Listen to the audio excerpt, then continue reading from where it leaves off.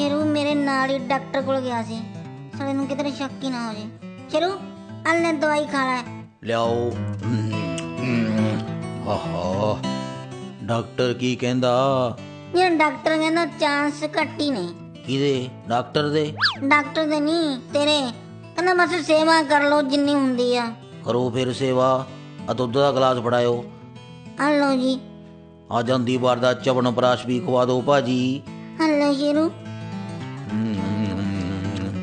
ਸ਼ੇਰੂ ਆ ਸ਼ਾਇਦ ਪਿਆ ਹਾਂਜੀ ਪੁੰਨ ਖੱਟ ਲੋ ਇਹ ਵੀ ਖਵਾ ਆ ਲਓ ਜੀ ਹਮ, ਹਮ, ਆਹ।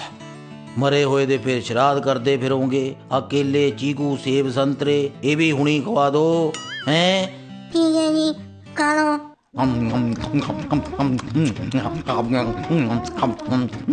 ਸਵਾ ਕਿਵੇਂ ਕੁੱਤਿਆਂ ਨੂੰ ਖਾਈ ਜਾਂਦਾ ਡਾਕਟਰ ਸਾਹਿਬ ਹਾਂਜੀ ਤੁਸੀਂ ਤਾਂ ਕਹਿੰਦੇ ਸੀ ਦਵਾਈ ਦਿੰਦੇ ਸਾਰ ਮਰ ਜੂ।